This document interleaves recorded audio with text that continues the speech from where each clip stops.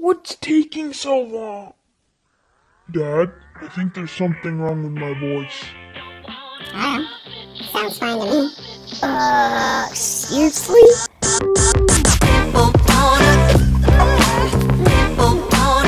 Okay, so in order to apply the pitch shifter effect, it's pretty easy. We just go up here to effects instead of editing. You might be on it already.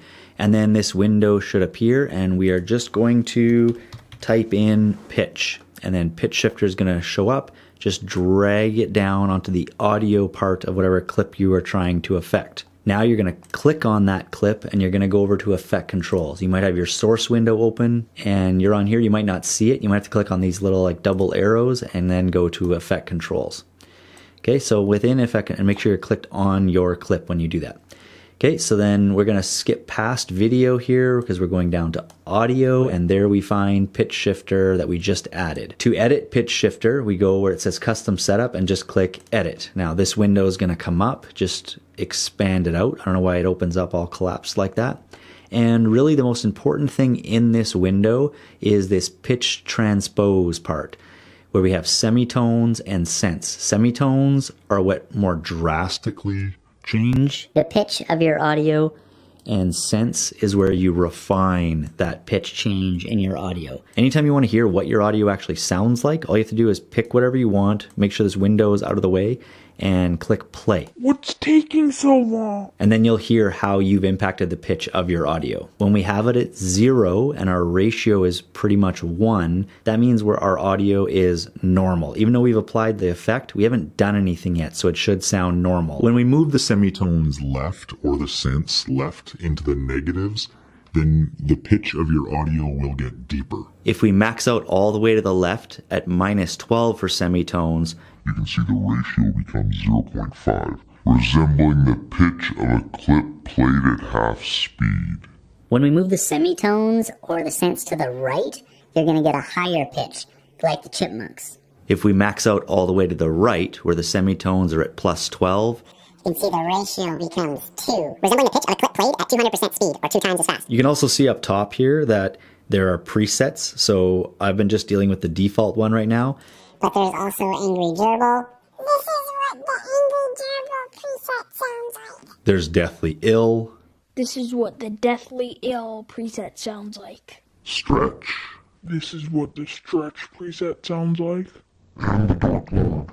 And this is what the Dark Lord preset sounds like. If we select one of these, let's say Dark Lord, you can see that its semitones are automatically put to negative 12, the sensor at zero, and you can see the ratio is 0.5.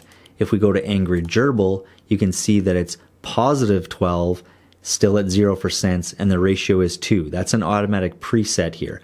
We can use those as a starting point and still scale them back. It just kind of gives you a starting point for these. no different than default gives you a starting point at zero.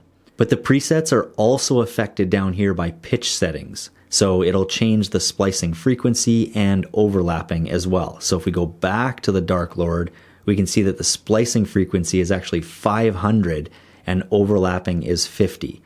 If we go to Angry Gerbil, now that changes to 61 and overlapping to 30. In the easiest terms I can think of, splicing frequency just kind of distorts your audio. High splicing frequency really tears your audio apart.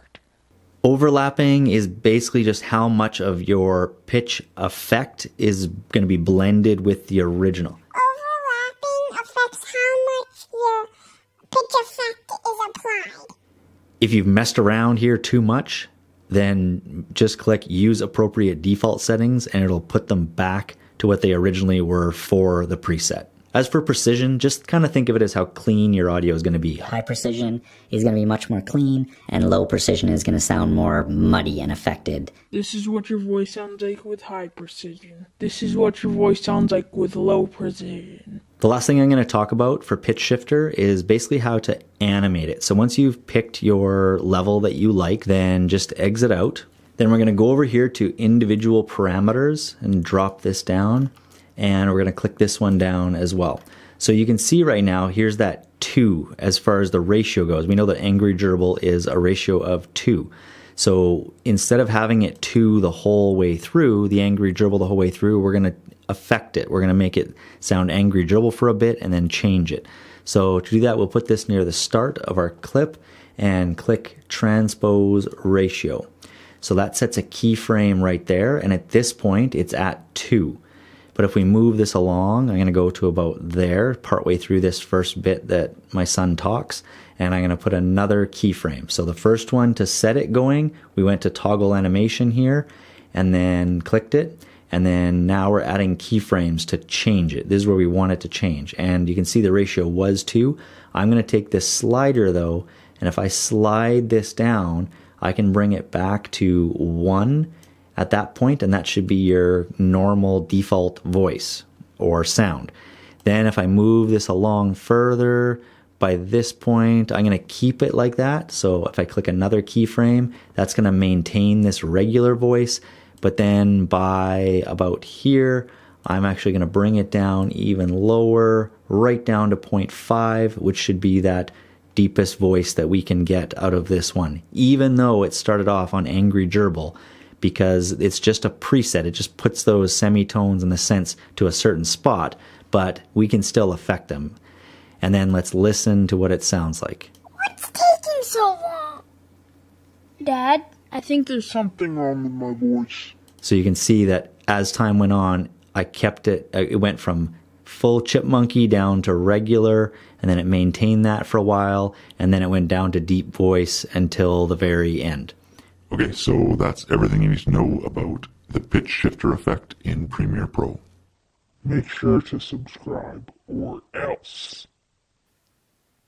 Or else what?